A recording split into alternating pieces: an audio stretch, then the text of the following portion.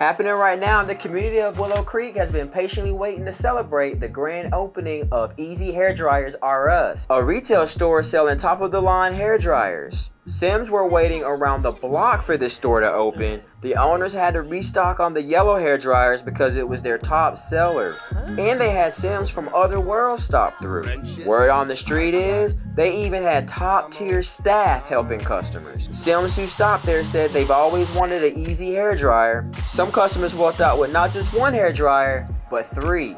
In addition to their Willow Creek location, the owners are planning on opening up its next store in two. Dag, dag.